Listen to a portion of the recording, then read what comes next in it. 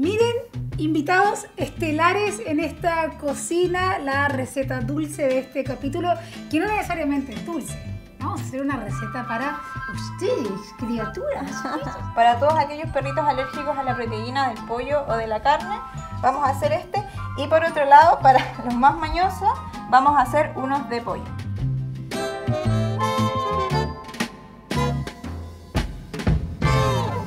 Vamos partiendo agregando en cada uno de los bowls la mitad de la zanahoria y la mitad del pollo, en tu caso. Cada zanahoria.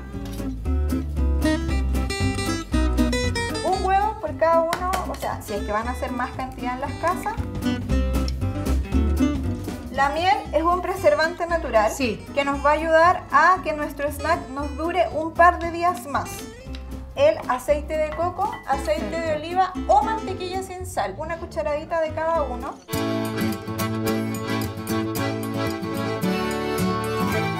Le vamos a agregar harina de avena.